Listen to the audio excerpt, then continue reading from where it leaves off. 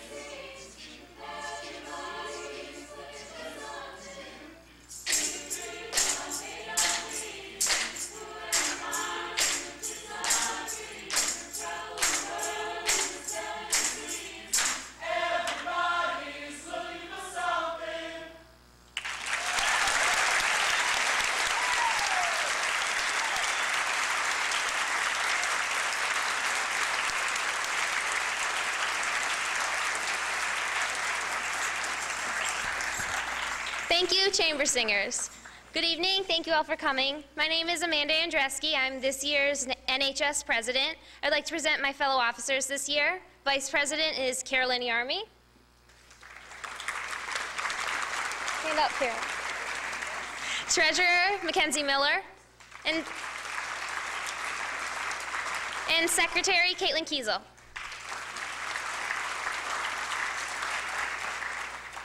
Next year's officers will be President Jermaine Hairston, Vice President Jeffrey Stalen, Secretary Claire Hagland, Treasurer Madeline Moore, and Historian Elizabeth Bastion.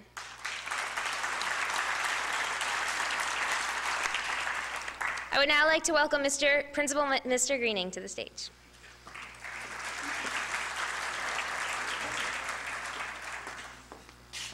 Thank you, Amanda. Good evening, everybody. It's always uh, a humbling honor that I have to be at the NHS uh, induction ceremony for a lot of reasons. Um, it's always stunning to me to be in uh, contact on a daily basis with so many talented students. Uh, if it's not singing, it's uh, service-oriented groups like NHS. So um, it's, like I say, always an honor to be here. Uh, some of you may be asking um, yourselves, didn't we just do this in the fall? And uh, after a lot of soul searching, we've made uh, a decision to move the NHS uh, ceremony to the spring where it will always be, yet another new tradition. Um, so you're part of history tonight, so I'm glad you made it. And once again, welcome. Thank you for sharing for parents out there, thank you for sharing uh, your children with us. Uh, it's, it's an honor every day, and it's especially fun on nights like tonight. So um, let's look forward to a really special evening, a lot of fun, and uh, I thank you again for coming.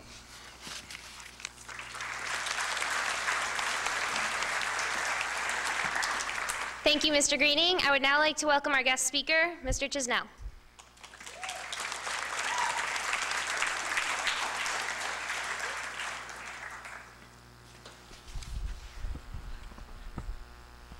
Sweet dreams are made of these. I trust you'll stop me at 35 minutes.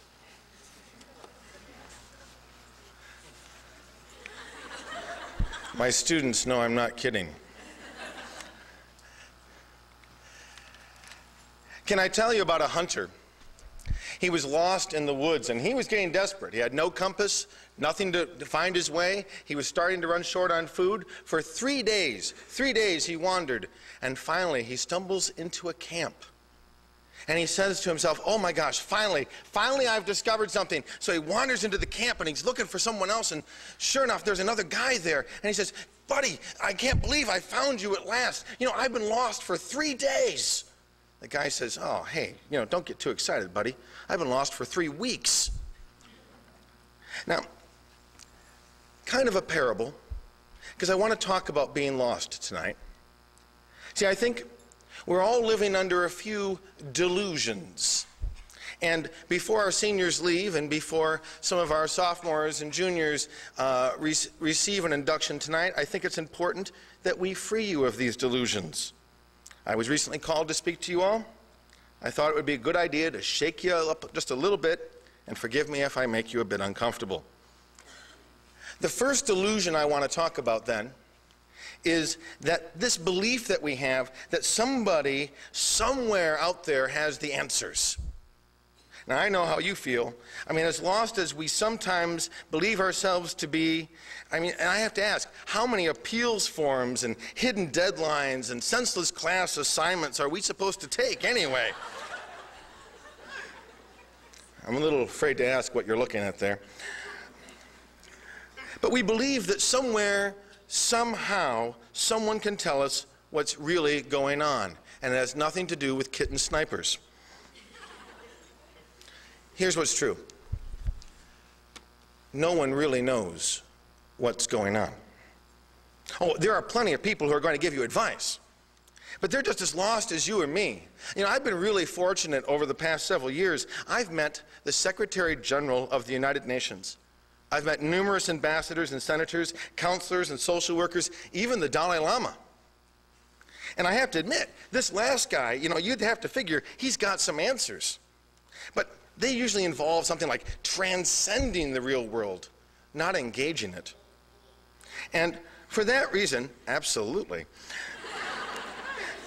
In the meantime, while we're waiting for the Dalai Lama to come back to Earth and tell us what's really going on, we have more appeals forms and class exercises. And in the adult world, these are replaced with bogus credit card deals, lost jobs, and, uh, oh yeah, uh, more forms. Oh, even Ronald McDonald needs help. I have to say, nothing much really makes sense anymore. I mean, Two cows are standing in a field, okay? And one says to the other, you know, moo. Oh, actually, he, he talks. He says, say, what do you think about this mad cow disease I've been hearing so much about? And the other one says, what do I care? I'm a helicopter. Had to scratch your head on that one? Okay, I'm sorry. I think what I'm supposed to be doing is somehow inspiring you. But all I can think to do is offer you another delusion that most people suffer from. I mean, the world may not make much sense to us now, but here's the delusion it's when I get a little older, I'll figure out what makes sense for me. Not right now. Oh, folks, the world changes. Really. I mean, one man's pet rock is another man's Tamagotchi. Destiny Cyrus is really Miley Ray, is really Hannah Montana, is really a has been by Friday. Do you know, in second grade, I wanted to be just like George the janitor. By age 18, I planned to be a performance musician. For the last 20 years, I have been looking for the Soviet Union and velvet peanut butter, and they've both vanished on me. I'm still not sure what I want to be when I grow up. But I know this tomorrow it's going to be something different. I mean, after all, who can keep up with a world like this? It reminds me of the snail, you know, the snail that was mugged. He was mugged by two turtles. And when the police asked him, you know, what happened, he said, I don't know. It all happened so fast. Yeah, I know. I was told to tell that one. So, what's true? Sometimes we feel alone, often lost, confused, not knowing what to do, and we can expect no real answers from anyone. Pretty uplifting so far, isn't it? Cool. Just please, whatever happens, don't tell me I'm on Big Brother 11, but without the cameras. That's the last thing I want. But really, I am okay with this. Nothing in the world is settled, nothing is set. And as the world changes, so do its needs. You know, Ms. Irwin suggested to me that I talk to you about service tonight, one of the pillars of NHS, and I'm happy to do it because if I've discovered anything, folks, it's this. As much as I want to have someone tell me that what I should be doing, others around me feel like the same thing. They want someone to tell them. They're waiting for someone to find them too. Oh, listen, set all that stuff aside just for a minute. I have some forms I want you to fill out, and I have a state diploma requirement that, you know, you'll complete. You know, I think community service would be great for high school diplomas. In fact, I need Obama to promise you an education if only you first join a domestic Peace Corps. Hey, look, if you give up your Saturday afternoon and work at the zoo and contribute to the penny wars, I'll give you extra credit. What's it gonna get me? And if I do enough community service, hey, you and I both know it'll look good on the college resume and the scholarship application. So let's rack up some hours, shall we? It's rational, it's practical, it's utilitarian. We understand how the world works. My students, what can I tell you about service that you don't already know? And so, here's the last of the delusions that I want to talk about tonight. And that is that service is about exchange. We should never do anything nice if we don't know what we're going to get first in return. Think of it this way. Two armed robbers, they burst into a bank, right? They line the people up and they're going to rob them one at one, taking their wallets, and they start working down the line. Two friends, they're lined up, waiting their turn to be robbed. Suddenly, one of the guys thrusts something into the hand of the other. The guy says, Hey, psst, what, what's that? His friend tells him, It's the 50 bucks I owe you. That's the way the world works. Somewhere, somehow, there are billions of people out there waiting to be found by people just as lost as we are.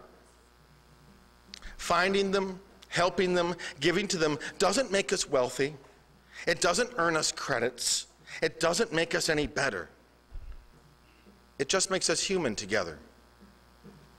This is one of the reasons why Mr. Greening put a motto on our school this year enter here to learn, go forth to serve. Now, for me, I don't think really that learning has much to do with algebra problems and appeals forms. I don't think learning has much to do with hallway passes and MME tests. That's scoring, that's filling in. Learning is a centuries old wisdom that finds its way all the way back to the Dalai Lama. When I was in Dharamsala, where His Holiness now lives, which is more or less a refugee city of Tibetans who will never return to their homeland, I visited a school of orphans.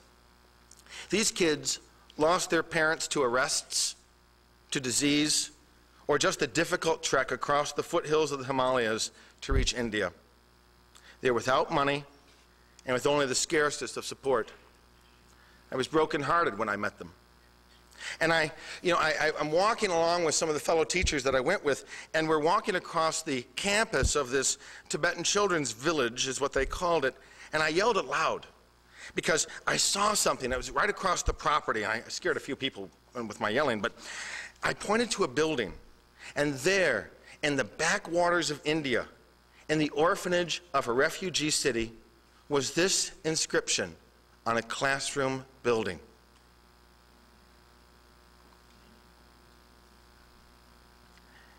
They don't know their direction. They don't know who to count on. But they know what it is to be human. Perhaps there isn't a better reward than that. Are you entering tonight or are you going? The Swede Axel Munthe said, what you keep to yourself, you lose. And what you give to others, you keep forever. And of course, there's Gandhi. The best way to find yourself is to lose yourself in the service of others. Alone and undirected, you and I, who are a bit better off than the orphans of Tibet, can do this much. No, we must do this much. Not because it's a requirement, but because it's one of the only real things that we have. It can be in Galveston, or it can be in random gardens.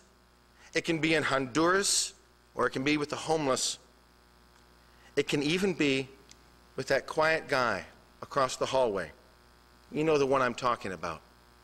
You see him every day, never talking to anyone and you're not talking to him. Find these people. Keep walking until you do.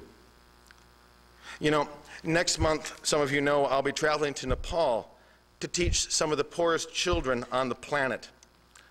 Despite everything, they're learning English, and they're desperately hungry to learn more. I'm going to give you an offer right here tonight. Write these kids a letter. Tell them who you are. Send a photo. Tell them about the worlds you live in, because the more they know about it, the more they can demand it of their new democracy, the more they can speak it. I'll make sure it gets to them. And who knows? Perhaps they will write you back. Perhaps you will find a friend on the other side of the world starting tonight. Find them. Keep walking until you do. Tomorrow, you're going to walk once again into Royal Oak High School and you'll see your friends and you'll suck up, to, I mean, you'll say hello to your teachers and your principal, I suppose, and you will mind your own business. Mind someone else's business tomorrow. Be unsure, but reach across that aisle to talk to someone else anyway. After all, there is no extra credit for this assignment. What better reason to do it? find them. Keep walking until you do. Or, as Alice asked the Cheshire Cat, Would you tell me, please, which way I ought to go from here? Well, that depends a good deal on where you want to go, said the cat. I don't much care where, said Alice. Then it doesn't matter which way you go, said the cat. So long as I get somewhere, added Alice as a way of explanation. Oh, you're sure to do that, if only you walk long enough. Thank you.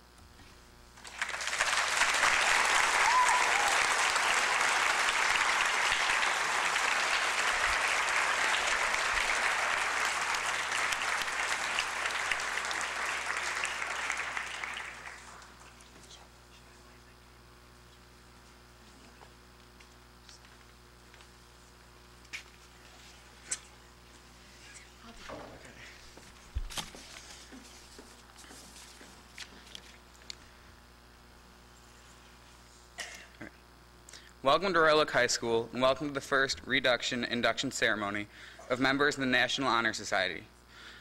I'm Joe Butler, and Amy Lindsay and I are the committee co-chairs for these ceremonies. All students must have maintained a 3.3 GPA or higher and have participated in at least nine semesters of activities with at least five semesters in school activities and the remaining semesters in community activities. All must have had excellent teacher recommendations, exhibiting leadership skills and outstanding citizenship. Once inducted, one-year members must, must complete 26 hours, and two-year members must complete at least 55 hours of community service. The current members are- of our chapter have completed a total of 5,134 hours of community service. Of that total, our graduating seniors have, over the past two years, completed 3,752 hours of service in and, and around our school, community, and in other states. Parents, family, and friends, we recognize that you have driven us to countless activities, helped us with our homework, and shown by example leadership and citizenship. Tonight, in the first part of our program, we will honor our seniors, who will become graduate members of our Royal Oak High School chapter of the National Society. The one lit candle in the middle represents the Royal Oak High School Society's torch, the symbol of the internal light of knowledge, flanked by four unlit candles, representing scholarship, service, leadership, and character. Our officers for 2009 2010 will now light the four additional candles on stage.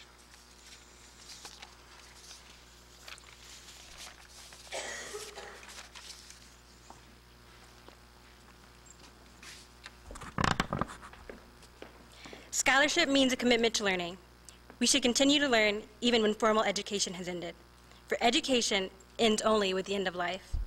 Learning furnishes the lamp by which we read the past and the light which illuminates the future.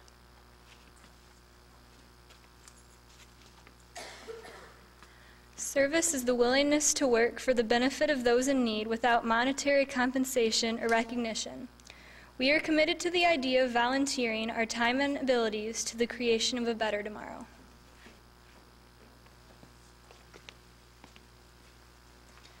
Leadership is taking the initiative in class and school activities. The real leader strives to train and aid others to attain the same objective. A leader has self-confidence and will go forward when others hesitate.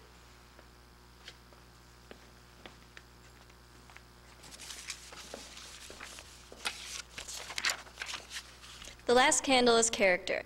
Character is the product of constant action, daily striving to make the right choice. By demonstrating such qualities as respect, responsibility, trustworthiness, fairness, caring, and citizenship, National Honor Society members hope to prove by example that they value character.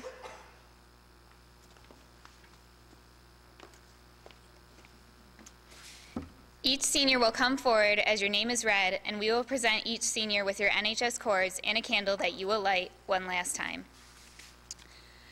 Lindsay Anderson, Amanda Andreski, Michelle Avery, Jared Barrick, Melody Bemis, Kendra Bradley, Kevin Caverly, Amelia Clare, James Daniels, Philip Davis, Morgan Dean, Amanda DeGraff, Amanda DeVera, Hope Daco, Samuel Doyle, Gregory Ewing, Courtney Fall, Brandon Hogan, Tyler Howell, Benjamin Holbert, Andrew Hunter, Caitlin Kiesel, Benjamin Kimmel, Sarah Klein, Rebecca Kostacek, Jeffrey Korsick, Cassie Lama,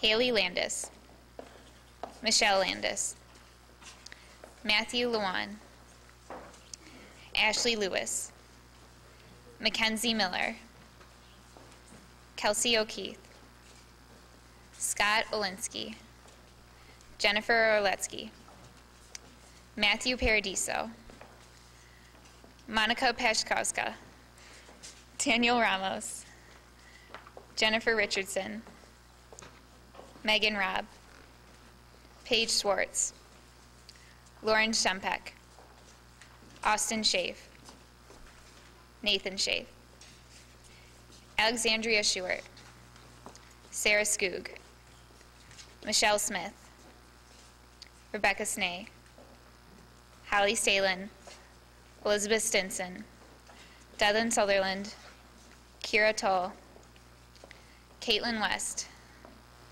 Abigail Williamson, Carolyn Yarmy, and Antonio Ziegler.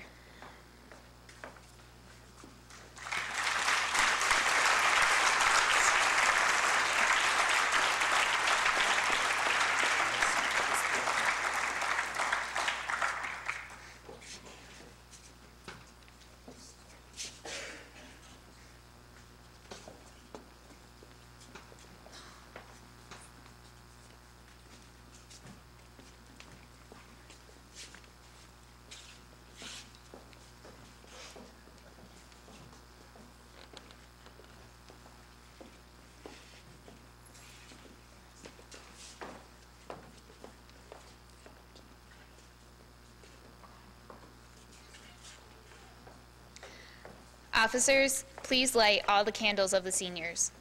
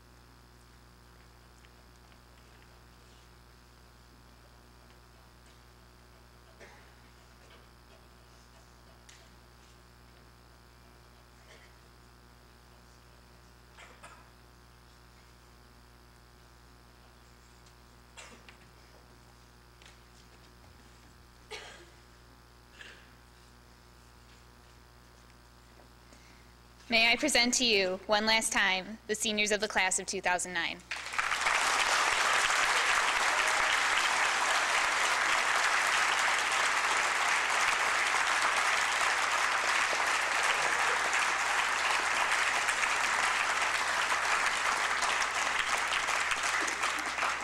Seniors, you may now extinguish your candles and return to your seats.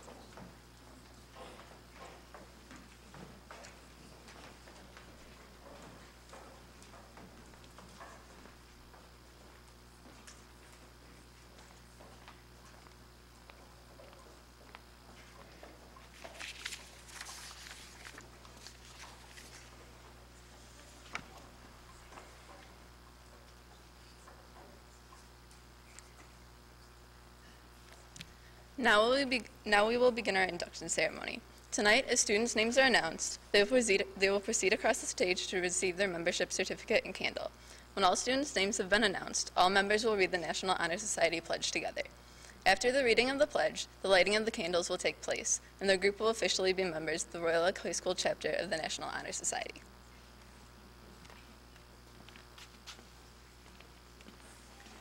We ask that you hold your applause till the end.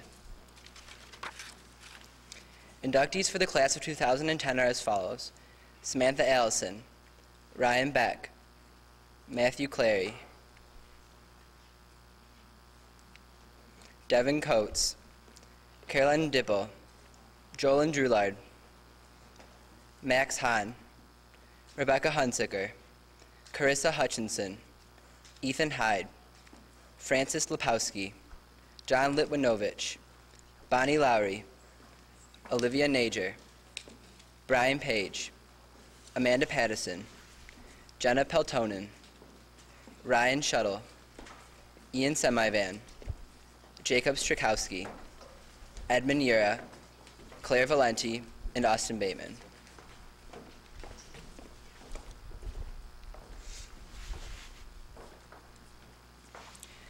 The inductees for the class of 2011 are as follows.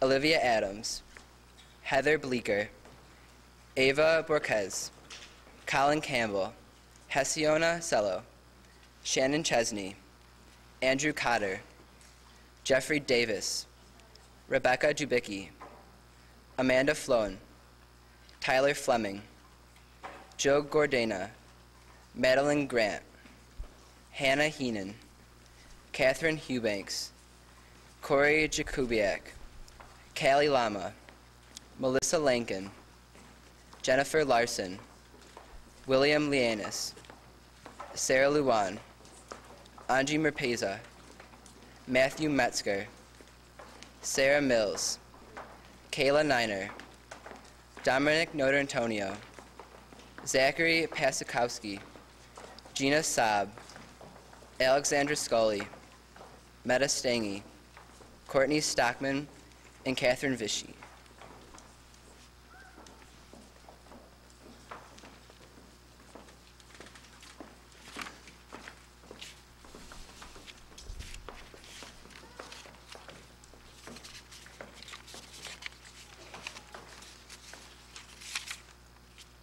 New inductees, please join me in reading the NHS pledge together. I pledge myself to hold scholarly habits, to engage in worthy service, and to be a leader in all things, that prove myself worthy of my selection to the National Honor Society, and to make its ideals the ideals of our school and of my life. Our members, officers, please light the candles of new National Honor Society members.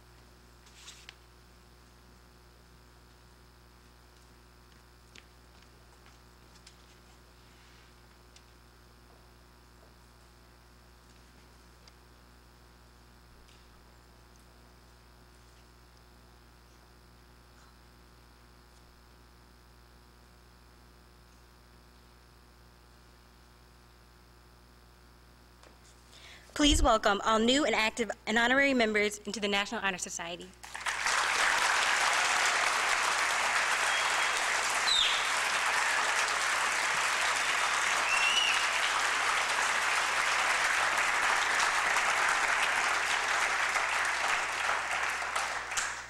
Our ceremony is now over. Please extinguish your candles.